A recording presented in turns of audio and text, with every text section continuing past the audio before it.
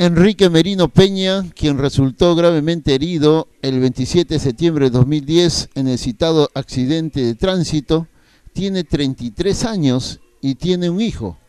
Recién se había casado con Azucena Valladares Domínguez. Ellos viven en el pasaje Motupe. Azucena indicó que la reconstrucción ha determinado la culpa de Jumencio Alexander Damaso, quien era conductor de la Station Vago. Mira, yo soy la esposa de, Enrique Merino Peña, quien se sentó el día 27 de, septiembre, ¿no? Lo que pasa es que esto es un proceso, hoy día ha sido la reconstrucción de los cuales se ha visto de los hechos, ¿no? Que ha pasado. Y, bueno, y se ha llegado con el objetivo que sí ha habido culpa ¿no? por parte del agraviado, que es el señor Juvencio, el chofer.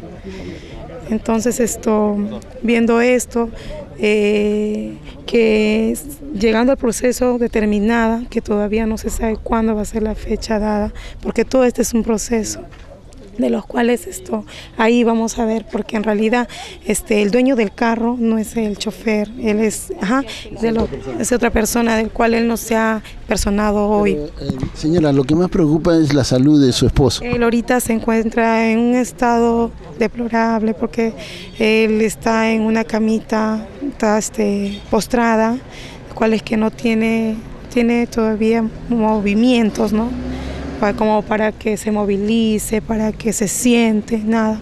Con ayuda de, la persona todavía puede movilizarse.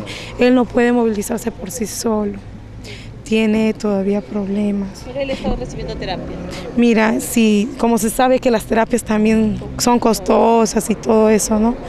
Y por eso que yo pido, ¿no? Que de alguna manera, ¿no? Eh, si nos puede brindar con un apoyo, ¿no? Para él, porque de él su caso es un caso bien extremo. ¿Por qué? Porque él, es joven, imagínate, nosotros recién nos, habíamos casado, recién íbamos a formar una familia, yo recién daba luz.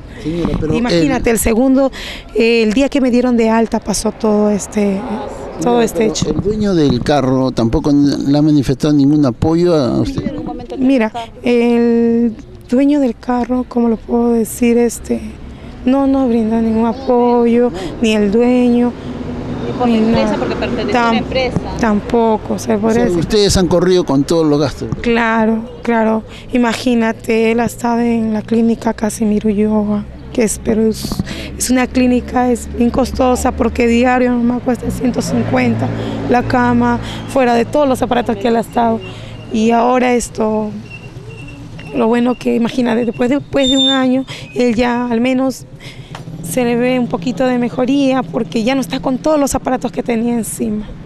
Porque él estaba sondeado, estaba este, con la sonda, con la tráquea, estaba entubado, estaba con el respirador mecánico, con la ayuda del respirador mecánico, él podía, este, podía vivir, porque sin eso él no estaría en vida ahora. Pero por decir, el, chofer ha reconocido su culpa en este caso. Mira, eh, mira, ahora el chofer, él es consciente, no, claro, él dirá que, pero él ahora dice que él no tiene todo con los con los costos, con el dinero, no está con todas las posibilidades, pero esto podemos llegar a un acuerdo, ¿no? De acuerdo siquiera mensual, un sueldo mínimo, qué sé yo, ¿no? Porque porque durante todo este tiempo, durante que él ha estado en la clínica, este, ha sido todo costoso, las medicinas, la cama, todo eso.